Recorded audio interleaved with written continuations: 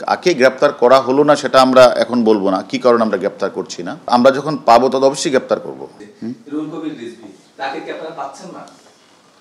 আসলে দেখেন মানে আমরা আমরা যে গ্রেপ্তারটা করছি আমরা যাদেরকে গ্রেপ্তার করছি তাদেরকে আমরা রিমান্ডে এনে জিজ্ঞাসাবাদ করছি যে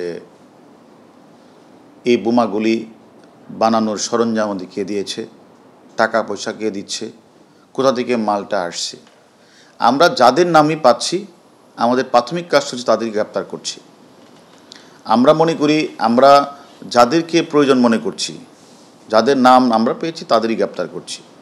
কাকে গ্রেপ্তার করা হলো না সেটা আমরা এখন বলব না, কি কারণে আমরা গ্রেপ্তার করছি না। আমাদের বিভিন্ন ধরনের আমাদের ইয়ে থাকে আমরা মনে করি যারাই এই অপরাধের সাথে জড়িত, যাদের নামে এই ধরনের মানে তত্ত্ব রয়েছে, সে সকল অপরাধীকে আমরা প্রায়োরিটি লিস্ট হিসাবে আমরা গ্রেপ্তার করছি। আসলে আমরা আমরা যখন পাবো তত অবশ্যই গ্রেপ্তার করব। আমরা পাচ্ছি না তো। আমরা তাকে পাচ্ছি না। আমরা যাদের নামে আমি বারবার বলেছি, আমরা এখন নির্বাচন কমিশনের দিক নির্দেশনায় কাজ করছি। যাদের নামে সুস্পষ্ট অভিযোগ আছে, যাদের নামে ওয়ারেন্ট আছে, যারা এই সকল, এই যে বাসের মধ্যে আগুন লাগাচ্ছে, ককটেল নিক- নিক্ষেপ করছে, ককটেল বিস্ফোরিত করছে, সুস্পষ্ট অভিযোগের প্রেক্ষিতে আমাদের ডিবি টিম কাজ করছে। অতএব যাদের বিরুদ্ধে এই ধরনের আগুনে মানে গাড়িতে আগুন লাগানোর ঘটনায়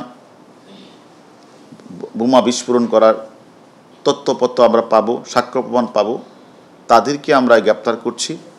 আরও কিছু লোকের নাম আমরা পেয়েছি, তাদের আমরা শীঘ্রই গ্রেপ্তার করব। তবে এটা ঠিক, আমাদের ওয়ারি ডিভিশন গতকাল সাতটা পঁয়ত্রিশে তারা আগুন লাগিয়েছিল, যুবদলের নেতারা। আমরা সাতটা চল্লিশ, পাঁচ মিনিটের মধ্যেই তাদের সকলকে আমরা হাতে হাতে গ্রেপ্তার করতে পেরেছি।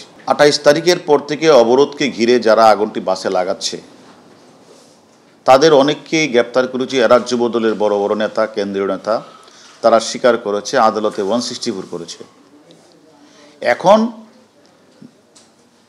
ঢাকা শহরের বিচ্ছিন্ন একটি জায়গায় একটা ককটেল নিক্ষেপ করা বা একটা গাড়িতে আগুন লাগা, এটাতে জনমনে তেমন প্রভাব পড়ে না।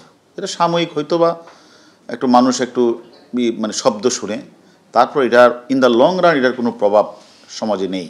যার কারণে আপনারা দেখবেন যে এই অবরোধকে ঘিরেও ঢাকা শহরের যানজট। আমরাও আপনারা যারা আসছেন, তারা দেখবেন মানে প্রচুর পরিমাণে গাড়ি চলছে। অর্থাৎ কেউ মানে অবরোধ যে আছে, এটা কেউ মনে করছে না।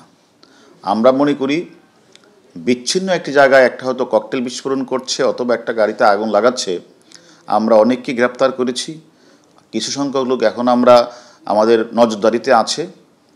আমরা তাদের মানে তারা আমরা জানি তারা কোন গর্তে ঢুকিয়ে আছে, আমরা যে কোনো সময় তাদেরকে গ্রেপ্তার করব। আপনারা কিছুদিন আগে আমরা ঢাকা মহানগর দক্ষিণের যুবদলের নেতা, এখন বর্তমানে যুবদলের কেন্দ্রীয় কমিটির যুব বিষয়ক সম্পাদক আবু সাইদ মিন্টুকে যে আমরা গ্রেপ্তার করেছি, সে গ্রেপ্তার করার পর সে কিন্তু আমাদের কাছেও না, আদালতেও স্বীকার সে যে কথাটা বলেছেন, তারা যে ককটেলটা বানায় সে বানায় যুবদলের কেন্দ্রীয় নেতারা আর এই এই- ককটেল কোথা থেকে নিয়ে আসে? তারা যেটা স্বীকারোক্তি প্রদান করেছেন, যে সেটা তারা কুমিল্লা থেকে, সীতাকুণ্ড থেকে তারা এটার মশলাগুলি নিয়ে আসেন।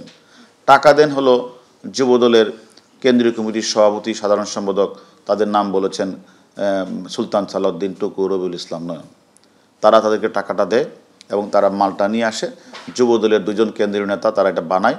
আর ওইখান থেকে তারা এটা বিভিন্ন ঢাকা শহরের বিভিন্ন এলাকাগুলিতে তারা এটা তারা বিলি করে।